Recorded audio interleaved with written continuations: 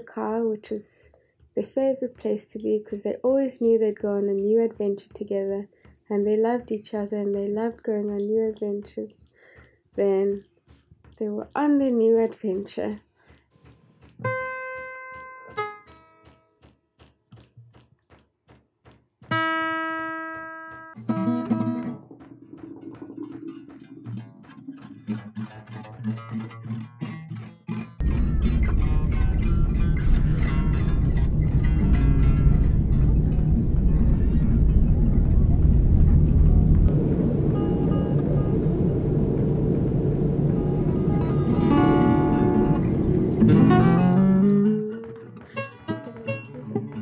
Um,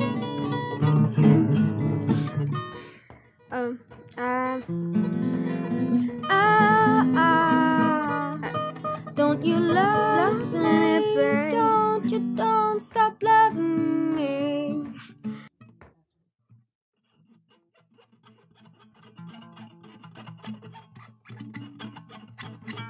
Well, I mean, I've been here for a while. I've like gotten my, at least all of my recent memories since being a child has been spent here.